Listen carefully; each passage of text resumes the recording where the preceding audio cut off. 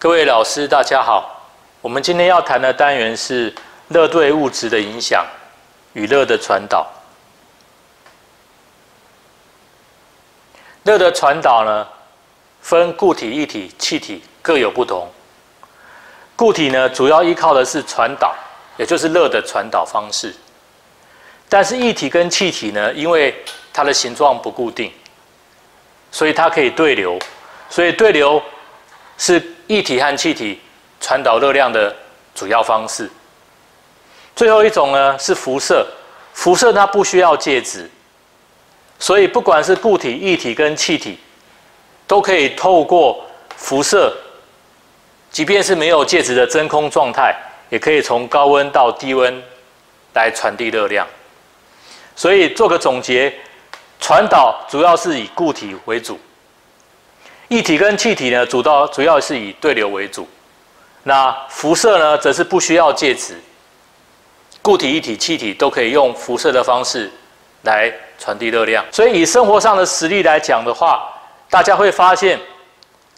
实际上，这三种传导方式都存在，所以老师在教学的时候，反而比较需要透过实际的例子，向学童来说明这三种热量传递的方式。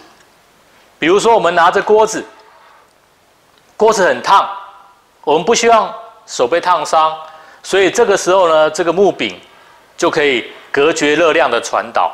所以它是属于热量的传导。那我们在煮开水的时候呢，开水要煮滚，要整锅开水都煮滚，所以这个时候呢是属于热对流。最后呢，我们用炭火来煮饭，这个炭火呢，实际上我们不见得要把火跟锅子完全贴合，它靠的呢就是热量的辐射。这就是实际的生活案例。另外一个实际的生活案例也包含着许多的迷失概念，比如说，为什么我们在冬天去摸金属的时候，会比摸木头感觉来的冰？如果是问小朋友这个问题的话，他们通常会觉得摸起来冰就是温度低，但实际上你去拿温度计来测量，你会发现金属跟木头温度是一样的。那为什么在冬天金属摸起来比木头还要冰呢？这其实就是热量的传导。因为热量传导的速度不一样，金属传导热量的速度比较快，木头传导热量的速度比较慢。所以，当你摸着一个很冰的木头的时候，这个木头把你的热量传导的速度是慢慢传出去的。但是，你摸着一块金属的时候，金属把你热量带走的速度是比较快的，因此你摸着金属在冬天就会感觉比较冰。所以你可以靠着这种方式也跟小朋友澄清这个迷失概念。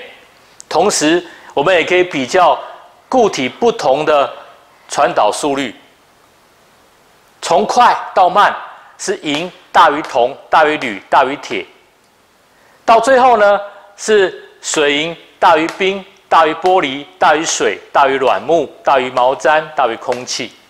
所以这就说明为什么我们空气可以用来保暖。像冬天的时候穿棉袄，哎，棉袄虽然也是靠这个空气里面来隔绝热量，但是空气呢本身有对流，也有传导，只是传导很慢很慢。那你空气把它包在毛线里的细缝里面，所以它当然无没有办法产生对流。那传导的速率又慢，所以就很保暖。谢谢大家。